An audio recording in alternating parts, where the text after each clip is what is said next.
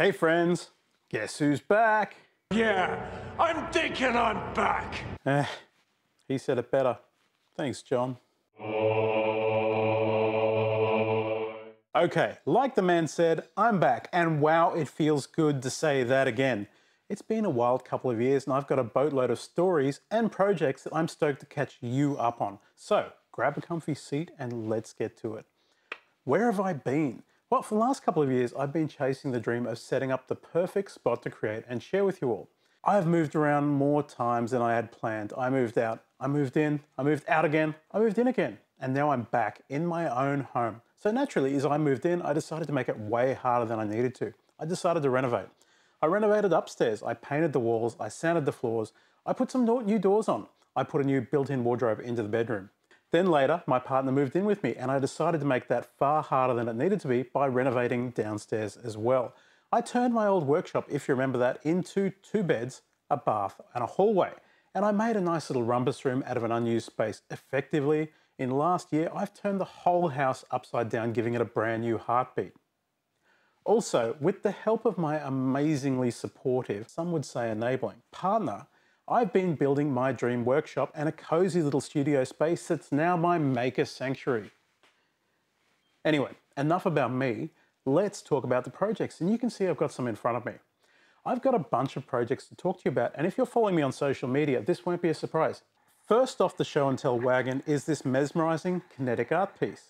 A few months ago, I became obsessed with kinetic art sculptures, and this one you're seeing here was my first effort.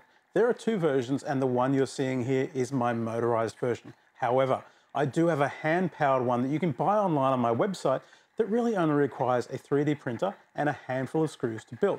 It's got comprehensive visual instructions, and it's one of those cool toys that if you leave it on a table, absolutely everyone that comes across it will play with it. You literally can't stop watching it. I've brought this project to life with the help of my 3D printer and a handful of two color filaments adding in a few screws out of my miscellaneous nuts and bolts drawer to bring it to life. This motorized version is like a visual lullaby and I could watch it all day. I'm excited to show you how this fun kit came together and how you can make your own. Now, if you want to jump ahead, I'm going to put the link to the files in the video description so you can go ahead and make your own. It's got everything you need to get started on my website. Next, do you remember my inverse kinematic paint mixer? You don't? Well, it's probably linked somewhere over my head right now, so go check it out.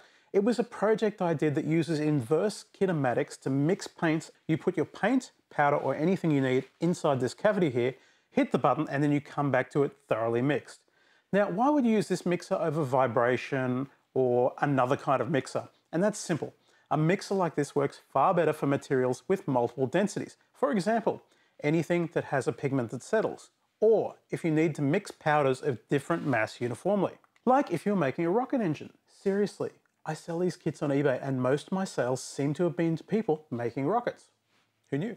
This one is my latest iteration of my mixer kit, version 5. The mixer's gone through several revisions over the last couple of years and a bunch of features, tweaks and improvements have been added.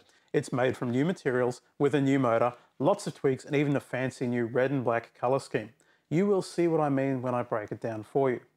And next up is my favorite recent project, AI designed acoustic panels. Have you ever thought about how sound bounces around your room? Me neither, but I did think about making something 3D printed to go behind me in the studio here. And then that particular rabbit hole led me to design my own acoustic diffuser panels. Actually, I didn't design it, I didn't invent it. These, as a concept, have been around since the 90s. I saw someone else on TikTok that had made their own version of this, but when I went to try and find STLs for it, I could not find anything. So I decided to make my own, but I also decided to involve my good friend ChatGPT to help me with a little AI brainpower. Hey ChatGPT, we're friends, right? Anyway, ChatGPT helped me to produce some code, which I can then use to generate my own QRDs. That's what this is, a quadratic residue diffuser, in the form of an STL and then print them out. I can specify all of the necessary parameters and I end up with these cool panels. Moving on, the last item coming up is that I bought myself a Bambu P1S 3D printer. I've been putting the Bambu P1S through its paces and I know you will have seen a bunch of reviews for these. A lot of reviews are from the angle of someone whose hobby is tweaking and fixing 3D printers, but that doesn't help me. I want my printers to make stuff. I want to minimize the amount of time I have to spend tweaking profiles, fixing parts, and troubleshooting them. So I want to do a review from the perspective of a user utilizing these devices to support their business. Let's figure out if it's worth the hype for your projects or business. And we might make a bit of a comparison to other brands who have a similar approach of a controlled ecosystem. No prizes for guessing which company that is. Okay, that brings us to a close. Whew, that's a lot. And now I have this fantastic makerspace. There's heaps more to come, and I'm just warming up. I can't wait to roll out all the content I have lined up.